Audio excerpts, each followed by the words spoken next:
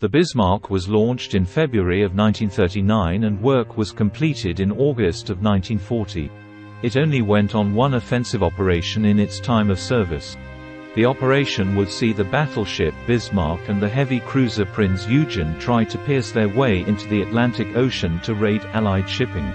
The Allies spotted the two ships and tried to block them. The HMS Hood and the HMS Prince of Wales engaged the two German ships. The Hood was destroyed in the battle and the Prince of Wales was damaged. With the Hood's destruction the Royal Navy was enraged. In response they dispatched dozens of warships to pursue the Bismarck. While en route to France for repairs, the Bismarck was attacked by 15 torpedo bombers. They managed to damage the steering gear which was crippling for the Bismarck. Later it was engaged by four British ships and as a result was forced to scuttle.